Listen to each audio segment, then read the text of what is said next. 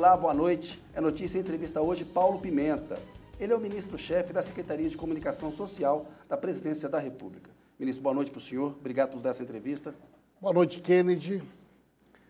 Prezados amigos e amigas, telespectadores.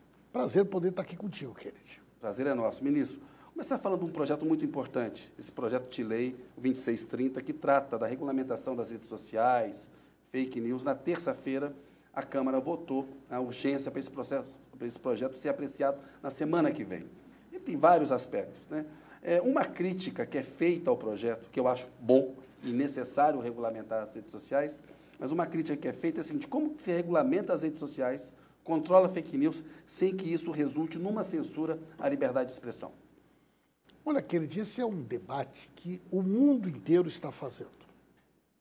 Não é uma discussão que só o Brasil tem procurado enfrentar. Veja que quando foi aprovado o Marco Civil da Internet, há sete anos atrás, oito anos atrás, é, o artigo 18 dizia não cabe nenhum tipo de responsabilização né, às plataformas pelo conteúdo veiculado. A vida resolveu isso. É, hoje nós temos diferentes modelos é, pelo mundo afora, mas todos eles já superaram essa compreensão. Né? E hoje o Brasil precisa fazer esse debate, tendo como base fundamental o compromisso com a democracia, mas, ao mesmo tempo, é preciso que haja uma corresponsabilidade das plataformas pelas big techs do conteúdo que elas veiculam. Isso ficou muito claro durante a pandemia. Né? O Brasil tem em torno de 3% da população mundial, mas tivemos 12% do número de óbitos. É um país onde proliferou o conteúdo antivacina, um a divulgação de todo tipo de informação absurda sobre formas alternativas de combater né, essa pandemia. Posteriormente, durante a campanha eleitoral, o próprio TSE enfrentou o tema, sem ter uma legislação, mas era impossível imaginar que numa campanha de 45 dias você não tivesse algum nível de mecanismo para defender a democracia, uma ação industrial organizada para tentar eh, criar na sociedade brasileira uma dúvida sobre a credibilidade do sistema eleitoral. E veja que detalhe importante, querido. 66% dos conteúdos contra as urnas eletrônicas foram postados fora do Brasil né, plataformas hospedadas fora do Brasil, com conteúdo impulsionado, com conteúdo monetizado. Depois tivemos os episódios do dia 8 de janeiro, do golpe. Agora, mais recentemente, toda essa questão que envolve a segurança nas escolas. Sim. Não é possível que estas redes possam ser um espaço onde se organizam ações criminosas, que seja exaltado né, a morte de crianças, apologia ao nazismo, apologia ao fascismo. E as plataformas ganham dinheiro com esse tipo de conteúdo. Tem a, a circulação orgânica, que o, a gente produz espontaneamente, agora tem o impulsionamento também. Quando ela ganha dinheiro impulsionando, está muito claro que ela tem que ser responsabilidade. A, a é, Alemanha, que tá encontrou uma solução muito interessante, que ela não responde a 100% do problema. Mas ela, do meu ponto de vista, é a medida mais importante. O que, que diz a Alemanha? toda postagem impulsionada ou monetizada não é opinião. Ela deve receber tratamento de mídia. Então, se um cidadão faz uma postagem né, orgânica com alguma desinformação, uma fake news, ou mesmo quando ele comete um delito eh, contra a honra, injúria, calúnia, a pessoa busca reparação na justiça, de forma normal, como qualquer Sim. episódio que ocorre fora das redes. Mas quando alguém está pagando, você está impulsionando, você está dando um alcance artificial para um conteúdo ilegal, imediatamente é necessário que a rede possa agir, que o Estado possa agir. Então, eu acho que é muito importante que o Brasil aprove essa regulação. Isso não tem nada a ver com censura. Isso é defesa da democracia, defesa do cidadão, defesa da saúde pública e defesa do consumidor. Porque, Kennedy, hoje, Todos os dias tu vê uma notícia de que alguém pegou um link no celular e quando ele clicou, roubaram todas as informações. Entraram na conta bancária dele. Caiu no golpe das pirâmides. Golpe de toda ordem. Como é que uma plataforma vai enviar um link para alguém, essa pessoa recebe essa informação, ela é vítima de um golpe, a plataforma está ganhando dinheiro para divulgar uma ação criminosa, ela não tem nenhuma responsabilidade? Claro, tem que ter. O Alexandre de Moraes foi muito feliz quando ele falou, né? O que é, o que é proibido no mundo real tem que ser proibido também no mundo virtual. Né? Naquela e, reunião e que vocês coisa, fizeram na, que, sobre hoje, hoje, uma pessoa, quando ela compra uma televisão, a televisão ela já vem com aplicativos. E ali, quando ela passa os canais, o cidadão não sabe se aquela TV ali é uma TV aberta, TV a cabo, ou se ela está assistindo um canal pelo YouTube. E não é razoável que cada uma dessas circunstâncias tenha uma legislação diferente. Se nós aqui agora divulgarmos uma informação criminosa, né, divulgarmos algo né, grave uh, com relação a uma pessoa ou qualquer fato, você vai responder por isso, a emissora vai responder por isso e eu vou responder Exato. por isso. Agora, se esse mesmo programa tivesse sido veiculado pelo YouTube, não haveria nenhum tipo de responsabilização para o dono do canal, para a plataforma e quem divulga essa desinformação. Né? Então, essa assimetria, ela é insustentável. Né? Eu estava conversando com o pessoal essa semana sobre a questão dos programas infantis. Existe toda uma legislação no Brasil que foi muito importante para coibir o excesso de publicidade em programas infantis. Mas hoje, tu bota no YouTube uma programação infantil e ela vai ser constantemente bombardeada com publicidade de todo tipo. Então você tem uma regra que vale para a TV, mas não vale para o YouTube. É, acho que esse debate está né? maduro. Essa né? assimetria ela é insustentável. O Brasil precisa apoiar. É uma questão de soberania, de respeito pelo país. E nós não podemos nos submeter àquilo que eles dizem. É o nosso modelo de negócio. Olha, o nosso modelo de negócio.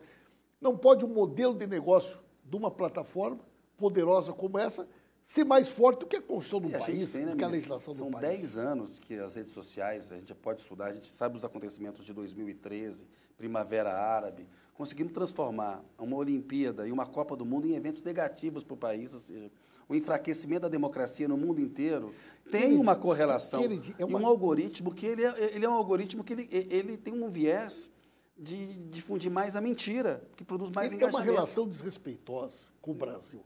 Eu recebi esses dias um, os grandes executivos dessas plataformas. E quando ele chegou na minha sala, eu peguei e mostrei para ele. Olha aqui, meu amigo, quero mostrar para o senhor. Olha esse, esse vídeo aqui, ó. Esse vídeo aqui dizendo que o presidente Lula morreu e que as pessoas que estão lá no Palácio do Planalto são dublês. Olha esse outro vídeo aqui exaltando violência contra o Lula. Se esse conteúdo aqui estivesse sendo vinculado nos Estados Unidos, contra o Obama, contra o Biden, contra o Trump, vocês permitiriam a vinculação desse conteúdo dos Estados Unidos? Claro que não.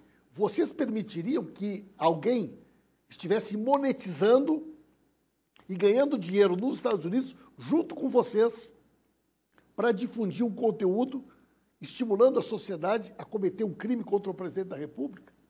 Como é que ele respondeu? Ele ficou quieto, né? me olhando. Evidente que não. Então, o tal do modelo de negócios, eles adaptam conforme Claro. o país exerce a sua soberania. Quer dizer, se nós não colocarmos limites, eles vêm aqui para ganhar dinheiro e para nos submeter a uma lógica que é comercial. Afinal de contas, para eles, isso é nada mais, nada menos do que um grande negócio. Quem tem que colocar respeito, colocar limite é o país. E por isso que a gente deve aprovar essa legislação, Kennedy. Ministro, olha só, tem um- uma coisa que está acontecendo nessa semana que é essa CPI do golpe.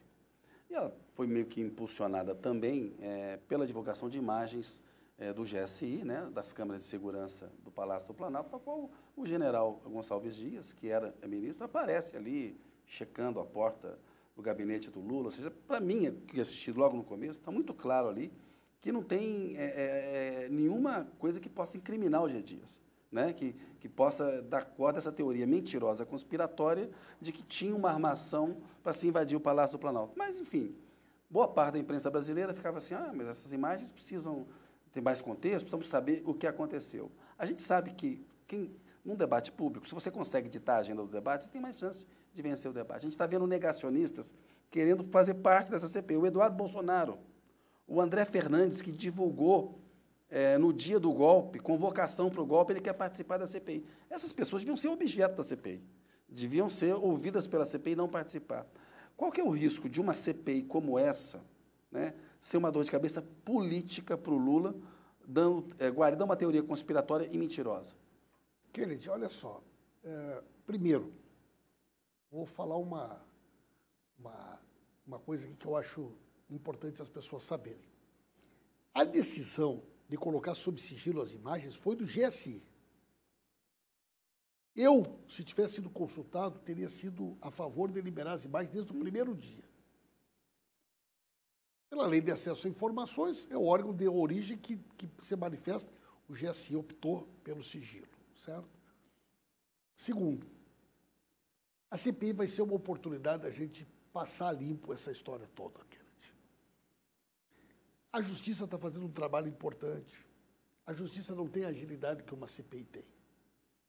A CPI vai ser a oportunidade que nós temos de trazer os financiadores para depor, quebrar o sigilo dos financiadores, identificar né, os organizadores, responsabilizar criminalmente todos aqueles, inclusive parlamentares, que incentivaram, organizaram né, e possibilitaram que essa ação criminosa tenha ocorrido.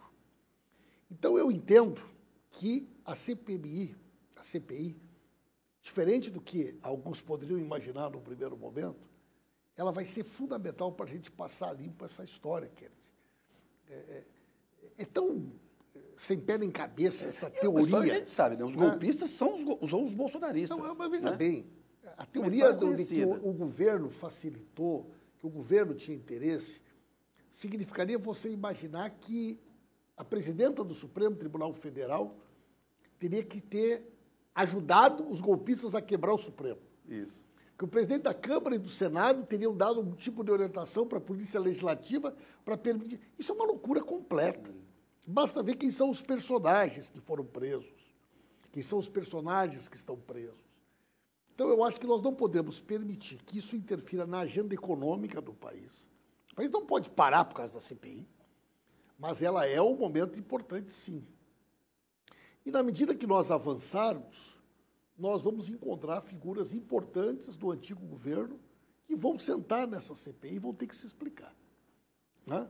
O ex-presidente Bolsonaro, você acha que tem que ser chamado pela CPI? Eu, eu tendo a achar que será inevitável. Por quê, Kennedy? Vamos lá. Vamos lembrar, olha, a posse foi dia 1 um domingo. Durante aquela semana foram as posses dos ministros. Então, o ministro GSI tomou posse no meio daquela semana. Né? Quando ocorre no outro domingo, ele praticamente não tinha mexido na equipe dele. O, o secretário executivo dele era o secretário do Heleno. Os oficiais eram todos oficiais do governo anterior. E a verdade tem que ser dita. As coisas são muito mais ágeis e muito mais rápidas entre nós civis do que entre os militares. Existe toda uma liturgia, de consulta às forças, né? Aquelas figuras que aparecem no vídeo eram as figuras que acompanhavam o Bolsonaro, inclusive nas motocicletas, nas viagens internacionais. Eram pessoas de confiança do Heleno, do Mourão, do Bolsonaro. Tentar vincular essas pessoas ao nosso governo, ao presidente Lula, vai ser uma tentativa absolutamente inglória. Né? É, o Capelli usou uma metáfora muito interessante. O cara tem um carro velho, um carro caindo aos pedaços, cheio de problema, aí ele vende o carro para mim, uma semana depois o carro funde o motor e a culpa é minha. Né? Quer dizer, é... então é isso que aconteceu. O GSI, infelizmente, ele estava contaminado. Se tem algum erro cometido pelo, pelo G Dias, foi não ter tido a rapidez necessária de fazer a faxina que tinha que ter sido feita. Né? Ele Embora... foi chefe da segurança do Lula durante nove anos. Exatamente. Se alguém fosse atacar o presidente, ele é, a pessoa que colocaria o, o corpo dele na frente para defender. é uma pessoa honrada. Né? E leal ao Lula. Né? Leal ao presidente Lula. Agora, aqueles militares... Aquele dia eu tenho... Eu fui uma das primeiras pessoas a chegar no Palácio. Era impossível acontecer o que aconteceu sem algum nível de comprometimento das forças de segurança. jamais teriam chegado. Né? No Da Congresso, PM, do Batalhão da PM, Guarda claro, Presidencial. que- nós que temos uma experiência na política, Sim. sabemos quantas vezes Brasília foi palco de manifestações muito maiores do que aquelas. Então, jamais né, os criminosos teriam chegado onde chegaram sem algum nível de comprometimento. Está preso né, o secretário de Segurança do DF, que era o ministro da Justiça do O Anderson Bolsonaro, Torres. o Anderson Torres. Vários comandantes militares foram O afastados. senhor citou aí o Capelli. O Capelli é o Ricardo Capelli, que está como interino no, No GSI. No GSI. Eh, Kennedy, nós já temos quase 100 militares que foram ouvidos pelo inquérito. Nós já temos pelo menos quatro generais que foram ouvidos. E as pessoas não se dão conta. Foi necessário uma consulta ao Supremo Tribunal Federal, que foi feita no dia 17 de fevereiro, para perguntar se a Polícia Federal tinha autonomia de ouvir militares inativos e da ativa. Porque até então havia uma, uma, uma tese de que só né, um, um- inquérito policial militar poderia investigar militares. E essa decisão do, STF ela é muito importante. Ela é simbólica, num país Porque que ainda pela tem primeira vez- mentalidade golpista em relação Pela a 64. primeira vez, depois de décadas, nós temos um inquérito no país onde generais da ativa estão sendo chamados pela Polícia Federal para depor. E mais, querido, essa turma vai sentar na CPI. Nós vamos ter generais tendo sigilo quebrado, coronéis, majores, altos oficiais do país. Muita coisa em termos de informações que ainda não apareceram. Muita gente que está na sombra, principalmente financiadores das ações criminosas, serão revelados ao Brasil a partir dessa CPI, Kennedy. Eu tenho certeza disso. Ministro, você tocou num ponto importante. O golpe militar de 64 ocorreu há 59 anos. A gente viu durante o governo Bolsonaro a exposição de que uma mentalidade golpista prevalece ainda em muitos setores da- das Forças Armadas. A tal tentação de uma tutela sobre a, a vida civil.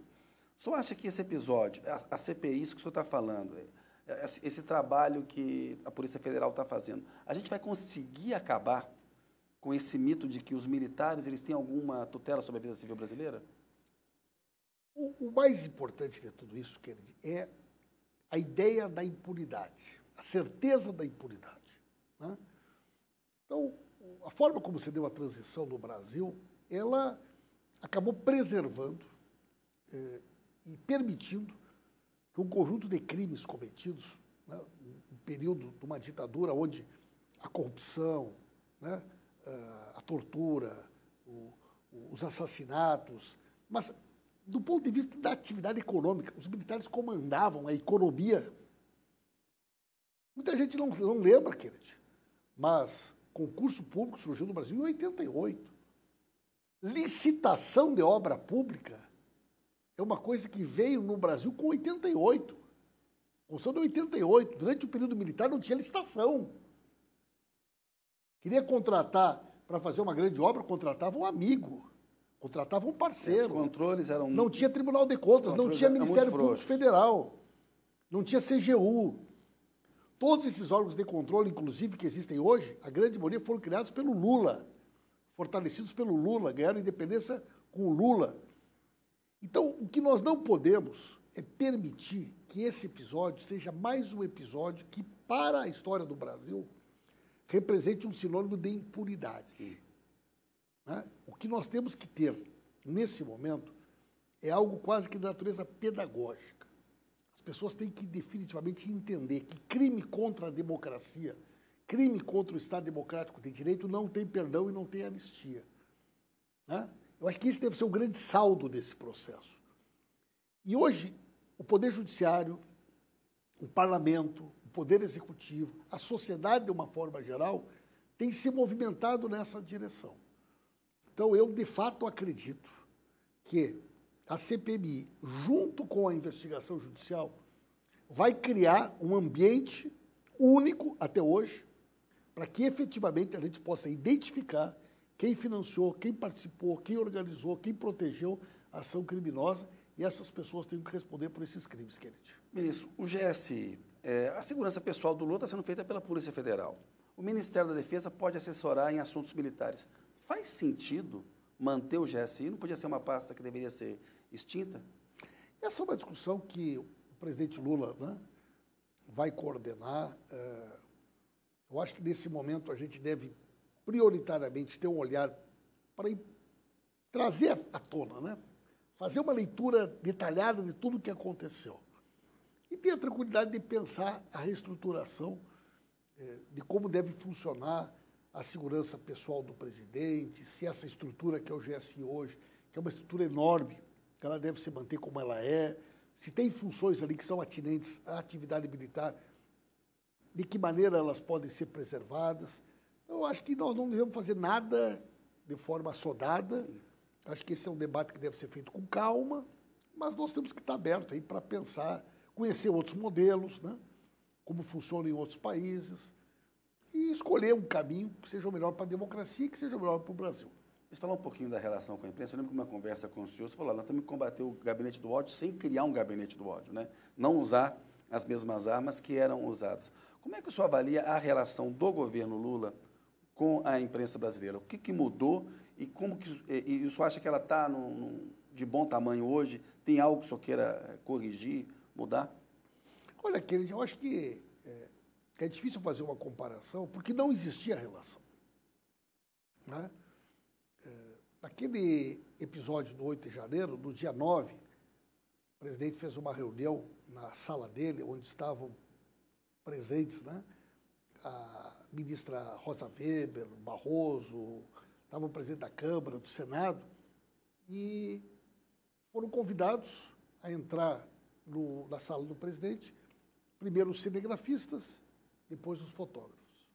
E muitos deles disseram ali para nós que era a primeira vez que entravam na sala do presidente da República durante anos. Muitos profissionais que cobriam o palácio há anos nunca tinham entrado naquela área. Muitos jornalistas que trabalharam durante esse último período nunca tiveram acesso ao presidente da República. E muitos tinham receio, principalmente as mulheres, né, que eram ofendidas, humilhadas, atacadas Sim. de forma covarde, não só pelo antigo presidente, como as pessoas que circulavam na sua volta. Então, hoje existe uma relação. a relação entre poder e imprensa é sempre conflituosa, né? mas existe um respeito. Existe é natural. Né? Né? Quer dizer, é, o que nós precisamos é de uma imprensa livre, democrática, né? forte. É, nós somos um governo de muita realização. O presidente Lula é um presidente que tem muita opinião, é um presidente que é, discute diariamente um projeto de futuro para o Brasil que busca recuperar o papel, o protagonismo do Brasil no mundo. Né? O Lula gera muita notícia. Né? Quer dizer, é, ele é por si só um grande comunicador. Sim. E para quem gosta de política e quem né, faz a cobertura do Palácio, é, é absolutamente incomparável. Né? O respeito, a relação, o carinho, a atenção, a dedicação. Eu acho que. E a gente parou de discutir se a urna eletrônica é confiável ou não, porque ela é, se vai ter golpe. Não estamos discutindo meta de inflação. A gente sempre tem que estar tá melhorando, né, coisa, né? É. Num detalhe, é. da, da, agilização. No, no, e faz parte do nosso, do nosso dia a dia. A gente né, vai, com certeza, ainda melhorar muita coisa. Pegamos um país totalmente destruído. Não era diferente da SECOM.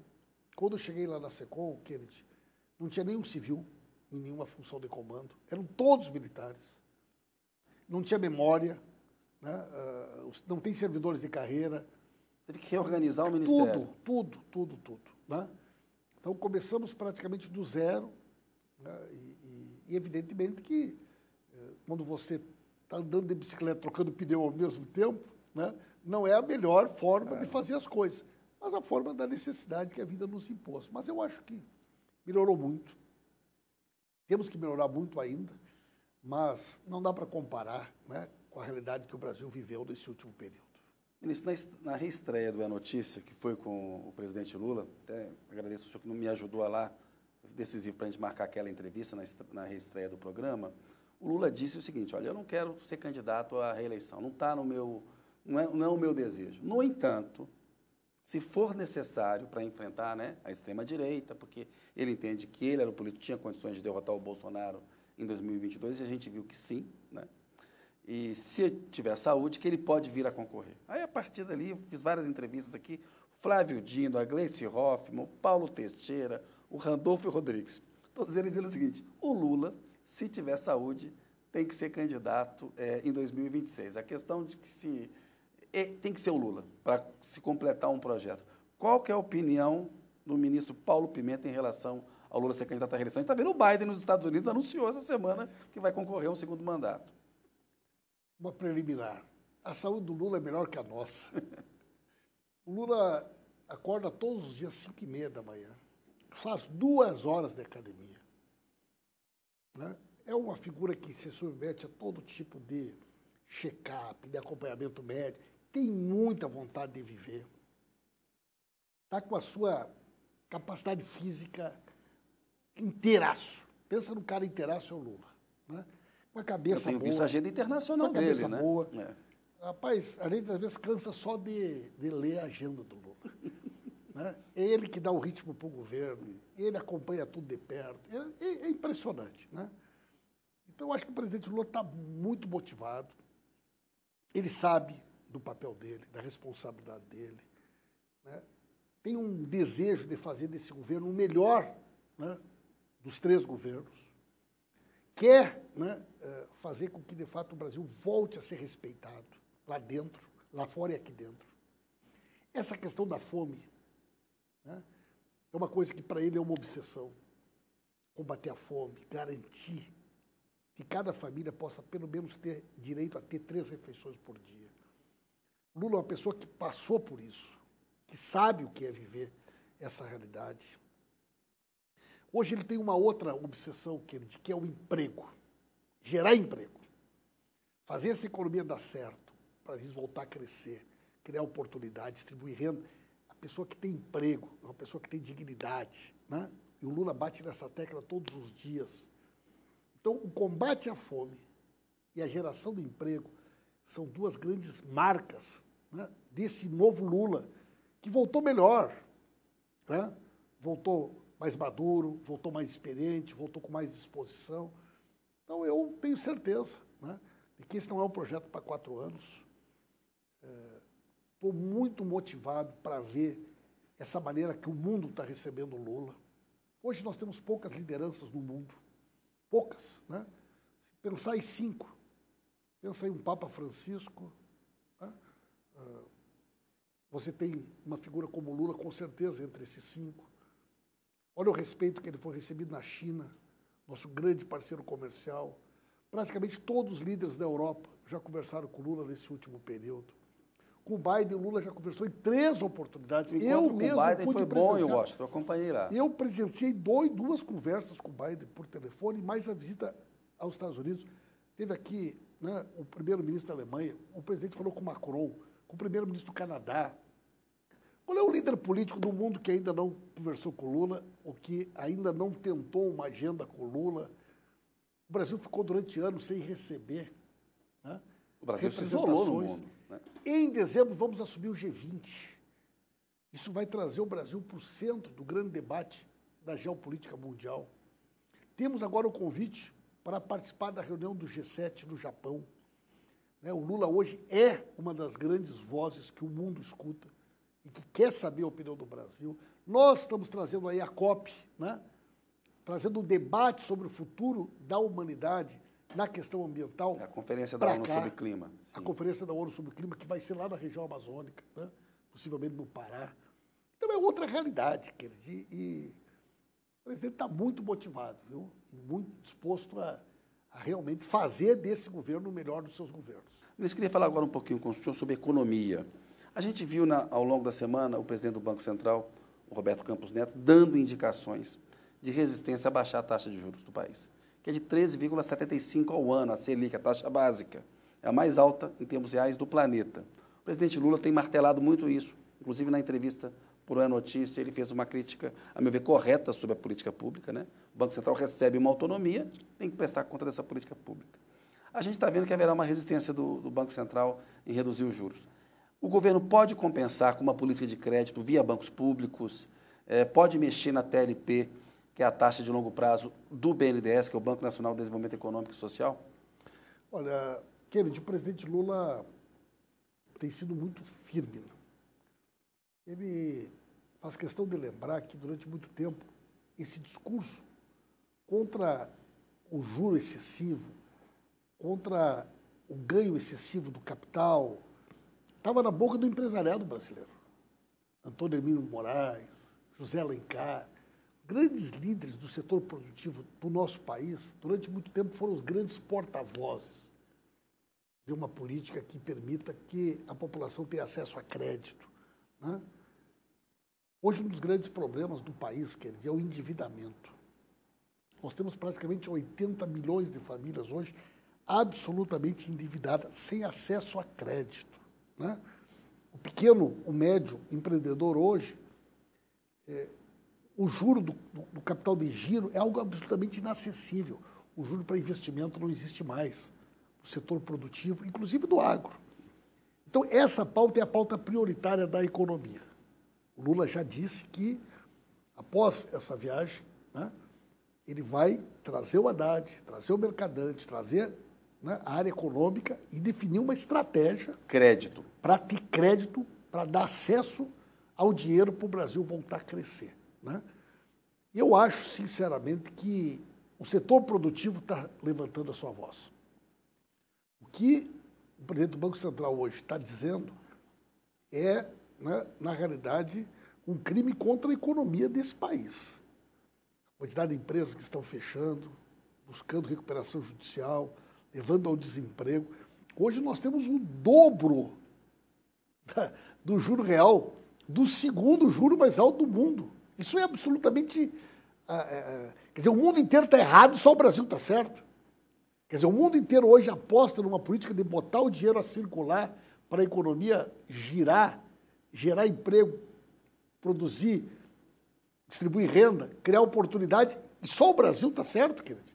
Então, olha, é, de fato, essa é uma determinação do presidente e nós vamos fazer política eh, de juro para poder garantir investimento, especialmente para quem quer né, ampliar sua capacidade de produção e gerar emprego no nosso país. Outra coisa que tem a ver com esse debate é a questão da meta de inflação. O ministro da Fazenda, o Fernando Haddad, ele disse, olha, não faz sentido mais ter uma meta de inflação anual. A gente vê em outros países, ela é perseguida num período maior de tempo. Né? para não obrigar o Banco Central a pegar tão pesado na questão monetária e acomodar é, eventuais choques. É, esse debate sobre a, a, meta de inflação, você acha que ele está maduro para ser feito? Ou cada vez que se fala nisso, assim, ah, não vão mexer porque a curva de juros vai subir, o mercado não aceita, a Faria Lima não aceita? Eu acho que o debate do marco fiscal, da reforma tributária, é a grande oportunidade da gente fazer essa discussão. O presidente Lula foi foi presidente há oito anos e nunca teve tanto cuidado né, fiscal como nós tivemos. Lula chegou a fazer 4,25 de superávit ao primário, ano. sim. Superávit primário sem o país deixar de crescer, sem o país deixar de investir em obras públicas, né? sem ver é, o setor produtivo viver um período é, tão promissor como viveu no nosso governo. Eu acredito que o Haddad tem conseguido estabelecer um diálogo que dá segurança né, para o mercado, para os investidores internacionais. E, e, eu, sinceramente, acredito que nós vamos começar uma curva de redução desse juro. O Banco Central não terá como manter é, esse patamar. E o Brasil todo hoje se une em torno do apoio a uma política que dê credibilidade, segurança para quem quer investir. E isso faz com que o juro caia. Esse programa desenrola que nós vamos lançar vai ser um programa muito importante para a classe média, principalmente. O Desenrola é o programa para lidar com as dívidas, né? É um programa de o cara poder sair do vermelho. Né? Quer dizer, a quantidade de gente hoje que não tem acesso ao crédito, e o cara que não tem acesso ao crédito, Kennedy, ele vai buscar em algum lugar. Ele precisa do dinheiro. Né? Dizer, então ele está pagando juros absurdos, juros exorbitantes o cartão de crédito, Kennedy, 400% ao ano. Que é isso? Sabia, Kennedy, que a grande maioria dos países divulga o, o juro do cartão anual? Aqui nós somos dos poucos países que informa o mensal. Porque tu imagina um banco botar uma propaganda. banco tal, taxa de juro 400% ao ano. Aqui ah, você tem o seu cheque especial 380% ao ano. Eles não conseguem fazer isso porque eles sabem o escândalo que é isso. A forma como consignado, parte do consignado caiu para o cartão de crédito. Hoje, milhares de trabalhadores e trabalhadoras, especialmente aposentados ou aposentadas, viraram reféns do sistema financeiro, Kennedy. E as pessoas não têm acesso a crédito, as pessoas não podem comprar, as pessoas não podem investir. Então, eu acho que agora né, é a hora da gente enfrentar o tema da economia. Política de preços da Petrobras. Na campanha, o Lula disse que ia brasileirar o preço da gasolina. Tem uma nova direção na Petrobras, o Jean Paul Prats está lá como presidente, é necessário implementar mudanças no Conselho de Administração. Ao longo desse ano, quando que o senhor acha que haverá uma nova política de preços é, para os combustíveis? Para a gasolina, para o diesel, para o álcool? O presidente Lula sempre diz que a Petrobras não é uma empresa de petróleo. A Petrobras é uma empresa de energia. E ela é a grande ferramenta do desenvolvimento industrial do país. Né? E ela foi capturada. Essa é a verdade. Capturada pelo interesse né, dos acionistas minoritários, da sua grande maioria multinacionais, que se apropriaram de forma criminosa da riqueza gerada no Brasil nos últimos seis anos. A nova diretoria acabou de assumir. Né? É, infelizmente, tudo é lento ali.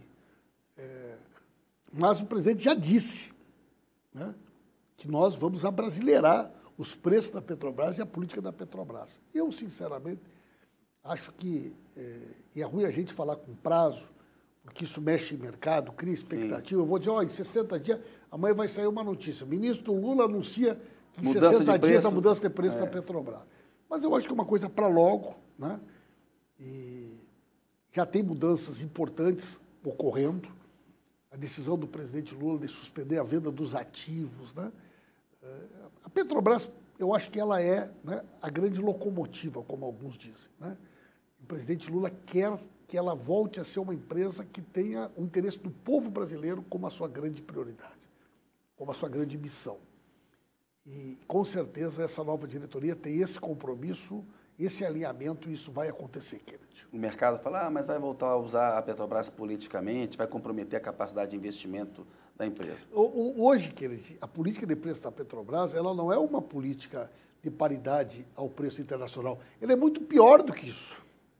Ela é muito pior do que isso. Né? Quer dizer, a forma do, do, do, do cálculo do custo da Petrobras, hoje ela é, uh, bom, foi a segunda empresa no mundo que mais transferiu lucros e dividendos para acionistas só perdendo para uma empresa da Austrália, no mundo. Não existe nenhuma empresa que pegue 93% do seu lucro e seu dividendo e uh, distribua para os seus acionistas. Acabou a, a, o investimento da Petrobras, a pesquisa da Petrobras, o desenvolvimento de novas tecnologias. O, o pré-sal foi descoberto porque a Petrobras investiu muito para que nós hoje fôssemos detentores a maior descoberta. Ou seja, é uma questão né? de dosagem. Né? Claro. Né? Então, o presidente Lula tem muito claro isso. E, agora, do jeito que era, não vai ser. Né? Aqui não vai continuar sendo o paraíso dos interesses antinacionais dentro do Brasil. Nós não podemos tolerar, querido. Ministro, estamos aqui na reta final do programa. Eu queria é, falar com o senhor sobre a indicação para ministro do Supremo Tribunal Federal. O Cristiano Zanin, que foi advogado-presidente na Lava Jato, é o mais cotado. É, quando que a gente deve ter essa indicação? Como é que isso está no cronograma aí é, do governo do presidente Lula? Você tem tratado esse assunto com ele? Eu nunca tratei esse assunto com ele, Kennedy. Eu acompanho esse debate. Acho que o presidente não deve ter pressa para isso. Né? É, um, é, um, é um debate estratégico de segurança jurídica, de futuro do país. Ele deve continuar fazendo esse diálogo que ele está fazendo né? com, com o mundo do, jurídico brasileiro, com o parlamento, com a sociedade, e no momento que essa decisão estiver madura, com certeza ele vai fazer a indicação. E a sua avaliação sobre o Cristiano Zanin? Eu gosto muito do doutor Cristiano, né?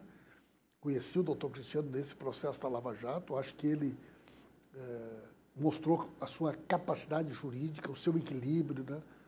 o seu respeito à Constituição, que são os, os pressupostos fundamentais para que alguém possa ocupar essa, essa vaga. Se porventura ele for escolhido pelo presidente Lula, ele preenche né, tranquilamente todos os requisitos necessários para que alguém possa ocupar uma cadeira da, da Suprema Corte. Ministro, chegamos aqui agora, de fato, ao final do programa. Tem o Pinga Fogo. Gostaria que você respondesse em poucas palavras a uma listinha aqui de personalidades. Getúlio Vargas. Olha, conquista dos direitos trabalhistas, né? defesa da soberania nacional, acho que são essas as marcas principais da figura do Getúlio. Juscelino Kubitschek. Um visionário, empreendedor, né? certamente escreveu seu nome na história e, e, é reconhecido por todos pela capacidade que tinha, né? Ditadura militar de 1964. Nunca mais, né? Ditadura deve ser antítese de tudo aquilo que a gente imagina e a gente sonha para o futuro do nosso país. Tancredo Neves. Um conciliador, né? Uma figura que, num determinado momento, cumpriu um papel decisivo para que o Brasil pudesse fazer a transição. José Sarney. José Sarney, uh, resiliente, uh, cumpriu seu papel na história, em momentos importantes ajudou a encontrar o ponto de equilíbrio para que o país pudesse superar crises é um outro nome que também né, conquistou o seu espaço e, e o respeito né, da sua história, da sua credibilidade né, na vida do país. Fernando Collor de Mello. Isso é uma decepção. Né? É, a, a, a ânsia, a fúria de impedir que um líder popular chegasse à presidência produziu essa figura que nos envergonha. Né? É, mas o Lula avisou, né? o Inácio avisou e mas muita gente não quis ouvir, né? E, e o Collor é um, um grande erro. Itamar Franco. Plano Real, o início da, da transição para a estabilidade econômica. Eu acho que esse é o grande legado dele. Fernando Henrique Cardoso. É um político que é, escreve seu nome como algo é, inequívoco com compromisso com a democracia. Né? Quer dizer, ao mesmo tempo, ele inicia o processo mais agudo de privatizações, de mudança do modelo, mas vai ser lembrado sempre pela, pelo seu compromisso com a democracia. Dilma Rousseff. Coração valente, corajosa, determinada, né, uma pessoa que foi duramente injustiçada, é uma grande inspiradora para todos nós. Michel Temer. Essa história vai, vai vai julgar e vai é, oferecer para o povo brasileiro uma opinião definitiva a respeito dele. Jair Bolsonaro. O maior de todos os erros. Né? Esse é o maior equívoco cometido pela, pela história política, pelas elites, por todos aqueles que apoiaram. Representa aquilo que de pior a sociedade brasileira produziu até hoje. Lula. O Lula é um exemplo Lula é um exemplo da superação, da capacidade de superação do povo brasileiro, pela sua liderança, pela sua coragem, pela sua inspiração. É, sem dúvida alguma, né, a maior liderança política popular da história desse Brasil. E eu tenho muito orgulho de poder fazer parte da equipe dele. Paulo Pimenta. Paulo Pimenta é uma pessoa que trabalha para ver as coisas darem certo. Né? É para isso que eu trabalho, é para isso que eu me dedico. É dessa forma que eu tento todos os dias ajudar o Brasil. Ministro, boa noite para o senhor. Obrigado pela entrevista. Um abraço. Até uma próxima aí. Obrigado, querido. Eu agradeço muito a sua audiência. A notícia fica por aqui. Um abraço. Até a semana que vem.